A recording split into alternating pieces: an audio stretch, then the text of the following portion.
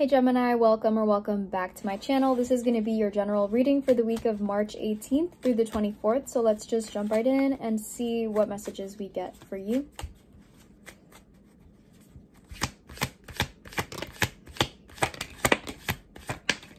All right, we have the High Priestess at the bottom of the deck. So I feel like your intuition is speaking for you which I don't know if I've ever said that before, but it's that's what's coming through.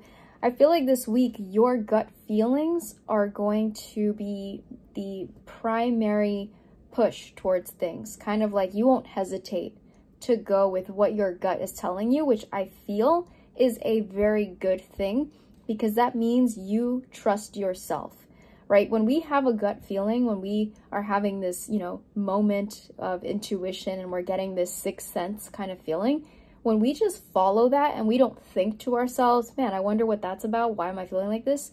That means you're aligned, right? When you just go straight to doing what that gut feeling is telling you, that's total, I mean, that's being one with the universe. And when you do it multiple times, one after another, with no hesitation, no doubt, and first and foremost, no fear of what's going to happen, that means you're in a you're in the right place. Right? That's proof you're exactly where you need to be. And I feel like this week for you, Gemini, you are you're the epitome of that. Something so clear is is happening here that is, you know, showing all of those signs. So it, it really is as simple as one, two, three. And, you know, I mentioned that also because the only numbers that I see here are one, two, and three, most of them being two. So for you, the angel number 222 could be very relevant, could resonate a lot, whether you're seeing it, whether it makes sense to you just as, you know, a number. Um, 222 is new beginnings. So a lot of you are not doubting your intuition about new beginnings and you are going for things and allowing that power to move you. So two here with the High Priestess, two with the Two of Pentacles, two with the Two of Swords. Then we have the three with the Three of Wands and the one with the Ace of Cups. Simple as one, two, three. That's amazing because I really believe that when you listen to your intuition and you just go for things, it is very simple than when you are having to do the whole back and forth thing, right? So, wow, Two of Pentacles, Two of Swords. This is the energy that's transforming, right? You are pretty much kind of transferring the power from this indecisive, not really knowing what you're going to do or how you're going to do it, to just going for it, making decisions. That's energy you're transmuting right? You're transforming it and turning something into something else with a certain, you know, confidence and, you know, power. Three of Wands, this is where it's leading you.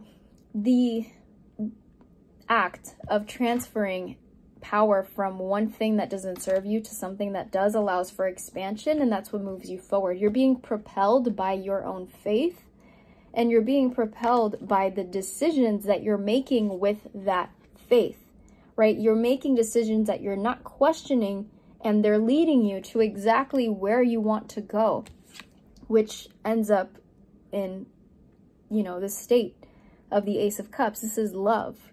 This is divine connection. This is karmic, you know, justice. Ace of Cups is whatever you want it to be, whether it's a relationship, whether it's you achieving, you know, a milestone that you never thought you would, whether it's you feeling like yourself again after having gone through a difficult or traumatic experience that took you out of yourself for a while. The Ace of Cups, you determine what this is. The point is, you're getting it. This is what you are walking yourself towards by your simple faith in yourself and the universe, but really it starts with you. Wow. Okay, let's clarify. Let's clarify the Three of Wands.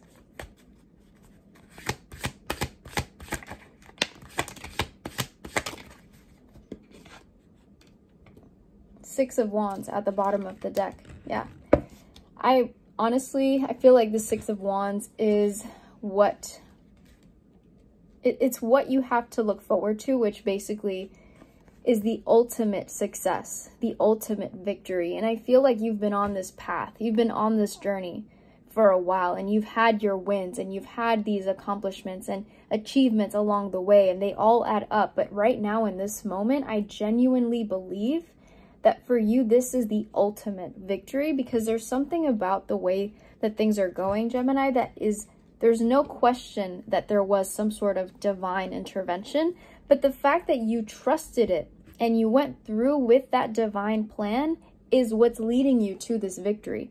So a lot of you may think, oh, well, I just then have to give thanks to the universe because it guided me in the right direction. Okay, I can do that. But what I'm saying is you trusted what the universe told you, and that's what's leading to your success. So the person or the thing, the entity you have to thank is your intuition, which means you.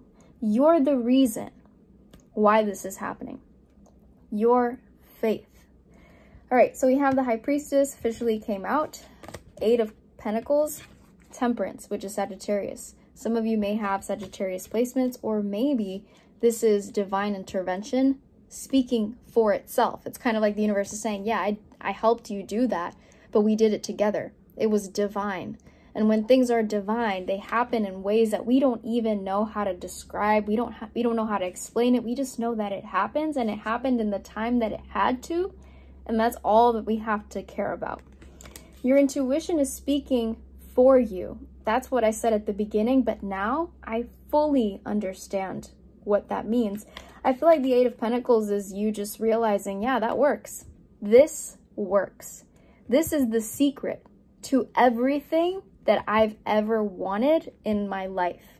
You've discovered the ultimate secret, which is leading you to the ultimate victory. And I mean, what more can we really say? you've discovered the ultimate secret, which is trusting yourself in, in a way that leads you to never doubt your gut feeling ever again. And now all the cards have decided to make a life of their own. All right.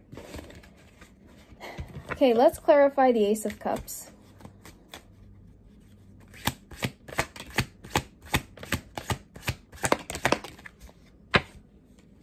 Wheel of Fortune. There it is. Only only more confirmation keeps coming through. I feel like I feel like a lot of you are going to see yourselves differently this week as well or you're already seeing yourselves differently and what what's also going to change is what hasn't changed yet. So for example, let's say you're already starting to envision your life a certain way. You can visualize things, really imagine how they're going to look like things are going in your way, things are happening in your favor, you're really trusting the universe. Whatever you couldn't see happening before all of this, you're seeing it this week. That's what I'm trying to say. Something is finally coming together and the pieces are adding up. To further clarify the Ace of Cups, we have the Eight of Wands, the Devil, which is Capricorn, and the Three of Cups.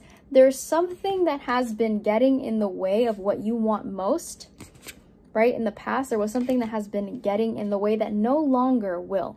So this devil is kind of saying, sayonara, like I'm leaving, I'm exiting because I, I no longer have my place here. I, I can't do anything anymore. You've won. This devil, right, whoever, whatever this is, that once was kind of victorious, it's saying goodbye because it can't compete with what you're doing with your life right now. Do you understand how crazy that is? But like in the best way. This Eight of Wands, this is alignment with the universe. This is universe saying, it's me and you, Gemini. Right? This is the universe saying, I, I am one with you. You are one with me. You're listening to what I have to say. You're taking that and making things happen. You're not doubting me. You're not doubting yourself right? Because you're paying attention to that gut feeling and then boom, here we are with the Ace of Cups. You're getting everything that you want. All right. I love this. Um, if you like this reading and it resonated, please give it a like, please subscribe, and I will see you in the next one.